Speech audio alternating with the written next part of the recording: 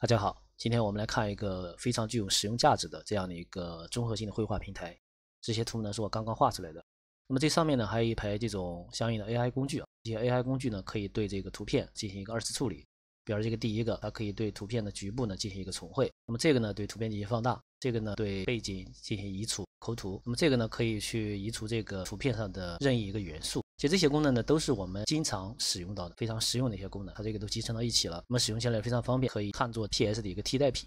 当然，它这个平台呢，它首先呢提供了很多的模型可以下载，大家可以看这边模型还是挺多的。如果有你喜欢的模型呢，可以下载试用一下。不过它这个模型呢有一些分类，一部分是可以免费下载的，另一部分的话只能在线去使用。那我们今天呢就拿这个浑圆模型给大家做个演示。这边好像有两个浑圆模型，咱们就拿这个吧。呃，然后呢，我们直接点那个执行模型。它可以在这个平台里面直接去使用。我们可以看到这边呢有很多的这个图，这个是我之前拿这个浑圆模型跑出来的。那么这个浑圆模型拿来画这个二次元的啊，或者是带有这种科幻风格的这种图，还有这种画这种怪物的，那么整体的效果确实还可以。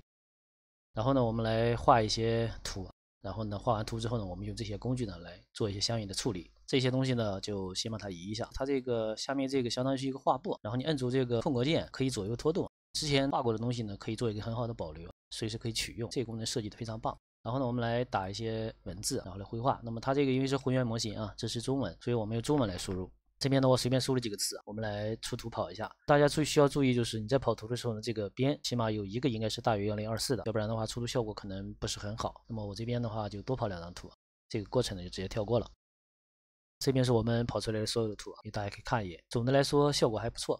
好，我们现在就来看一下上面几个功能怎么使用。比如第一个局部重绘，我们来找张图，就这个吧。然后点一下这个局部重绘这个按钮，这边它会自动进行一些分割检测，分割物体，这样的话就分割完毕了。大家看这边的话，我们可以通过这个鼠标去选择你要重绘的部分。比如说这边有朵花，两朵花，我们选两朵，把它进行一个重绘。这边保持不要动，然后呢，我们来直接点这个按钮，稍微等一下，现在已经开始重绘了，看一下结果。这个是它原来的图，我们这样拉过去的时候，大家发现这两朵花进行了一个重绘，重绘效果还是不错的。那么第二个也是，它把两朵花给抹了一朵，这个效果还是可以的。这就是第一个功能。然后我们看别的，第二个功能是高清放大。那么这个我们可以选择任意一张，然后点这个按钮。那么这样的话可以选择放大倍数，倍数越高可能消耗就越大。或者说我们可以直接从你的电脑里面拖一张上来，比如我们选择这个，把它直接拉上来，大家看这个图就上来了，这个非常方便。然后呢，我们选择这个。还是点这个放大，咱们简单点就放大一倍，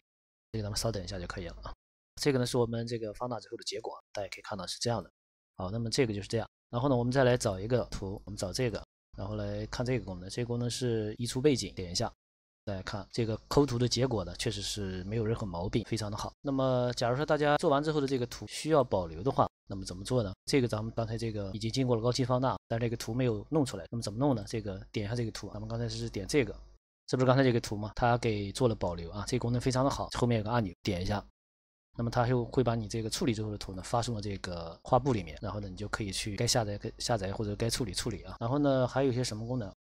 这个功能比较有用啊，就是用来做移除画面元素的。那咱们找一个吧，就这个吧。这边有一个水晶，咱们给它去掉。那么选中图片，点一下，这边可以框选，然后把这个去掉，点这个移除，去掉了。然后这个，然后也给它去掉。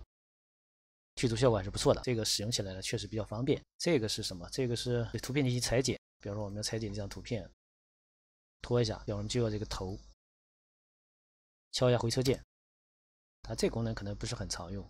然后其他的这两个我试了一下，怎么说呢？因为它还是这种试用版的功能，其效果不是很不是太理想。比方说我们用这个给大家做演示。然后呢，这个是扩图嘛，也是我们比较常用的一个功能。比如我把它直接拉出来。咱们直接运行，点一下，这个是我之前做的一个例子，待会儿也可以给大家看一下。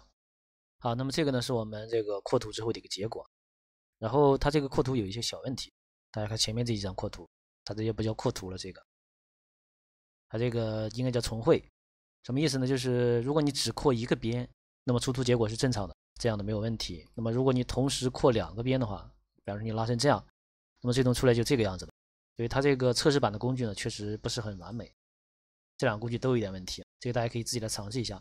那么它前面这几个工具确实比较好用，对于我们这个绘画创作呢，确实是比较有帮助的。整体来说，这个工具确实不错。如果满分是十分的话，那么这个工具打个八分还是可以的，确实是使用起来非常的流畅啊，然后也非常的方便。这个大家有兴趣的话，可以自己来试试。接下来呢，我们给大家介绍一个活动，这边官方这边它跟腾讯官方这边呢合作了一个这样的有奖活动，它不是针对所有人的啊，它这个参与的话需要一定条件，就是说你需要拥有两个账号，一个是这个平台的账号，另外一个是这个 C 站那边的账号。然后呢，你还需要会做模型，因为它针对的是模型创作者。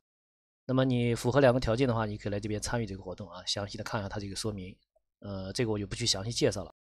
反正大概意思就是说，你需要制作一个红颜模型，这个红颜模型呢会给你奖金，这个奖金是按照你这个 C 站这边的粉丝数然后来的啊。